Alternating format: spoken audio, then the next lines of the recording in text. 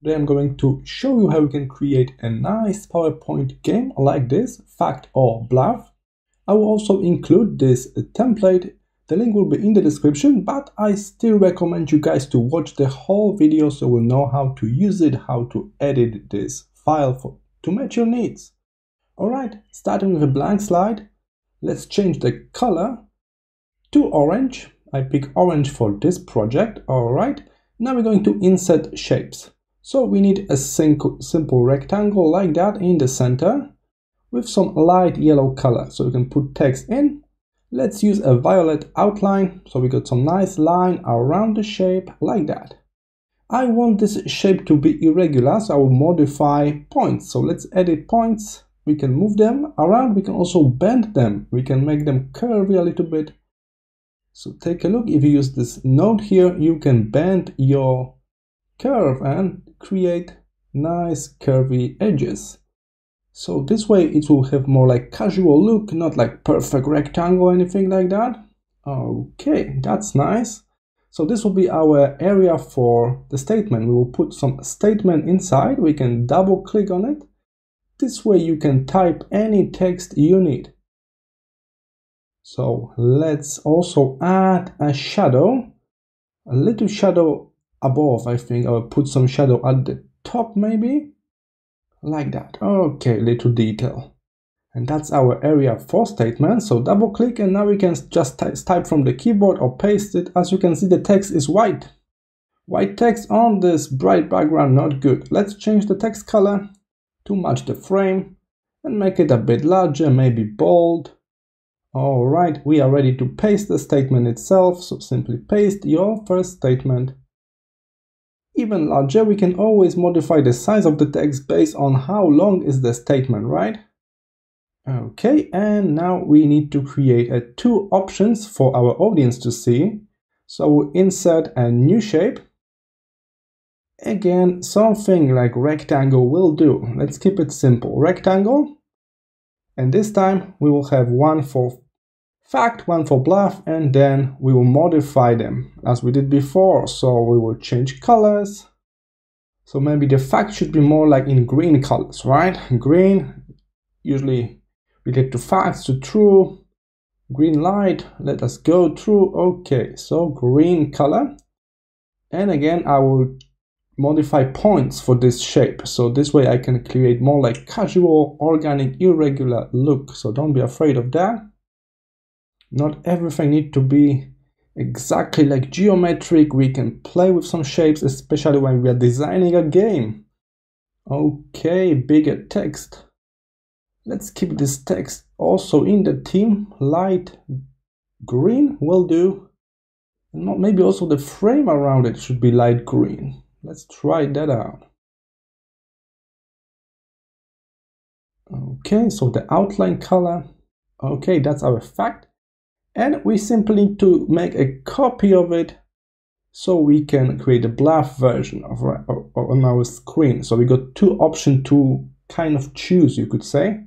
So just simple copy and paste, Command C, Command V, rotate other way around, edit text inside, that's easy part.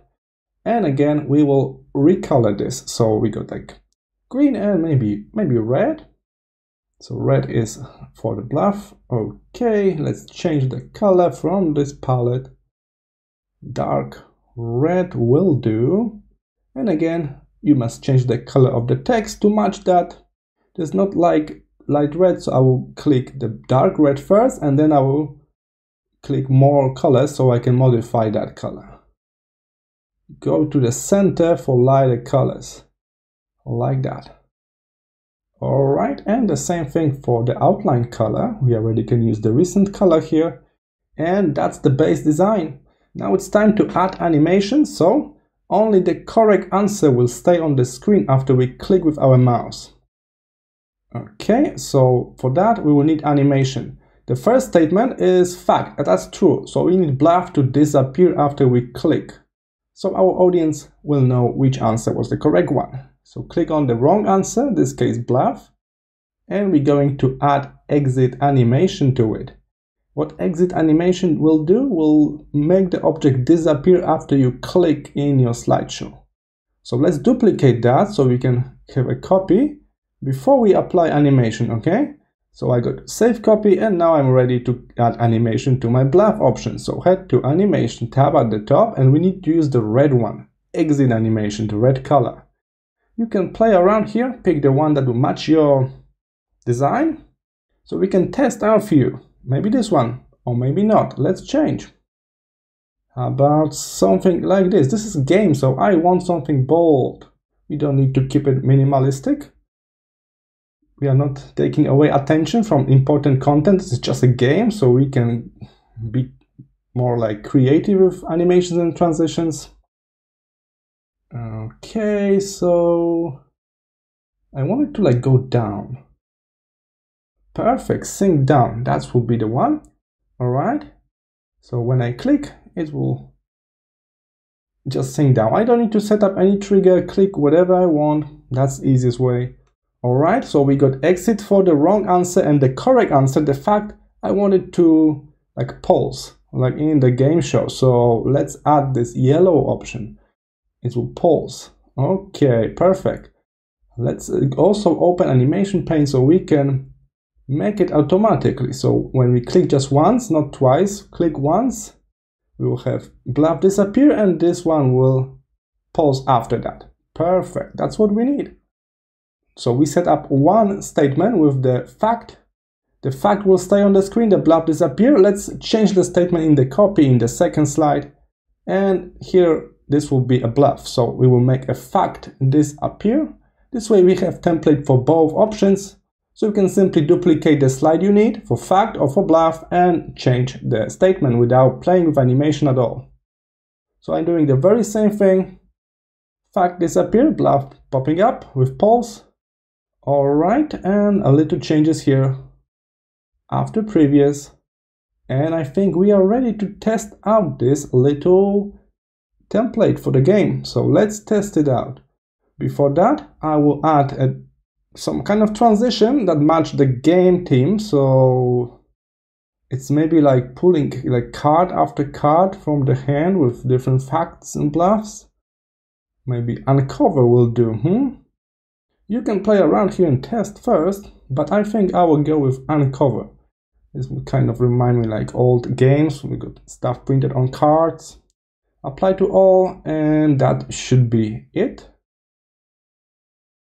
So let's head to slideshow and test our template. First slide. I click, I got my first statement. If I click again, I will show what's the correct answer. That was fact. Alright, move to next one. If I click again, I will show the correct answer. Bluff. Perfect. So we got one slide for fact, one for bluff. You can reuse that. You can simply duplicate the statement you want, change the statement inside, and you don't even need to play with animations. As I mentioned, the link is in the description. Don't forget to like and subscribe for more content like this, and I hope I will see you in the next video. Bye!